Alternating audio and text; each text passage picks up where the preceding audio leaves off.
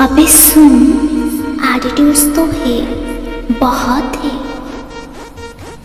हाय, कितना प्यारा है, हमसे थोड़ी दूरी रखो।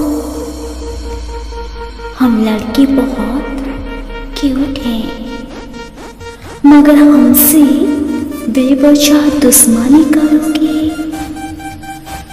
तो भाड़ में जाओगे, ऐसे धज्जियाँ उड़ाएँगे कि वाट लग जाएगी। जितना भी तेरे पास है, वो सब तेरे मुँह फोड़ के निकाल दूँगी।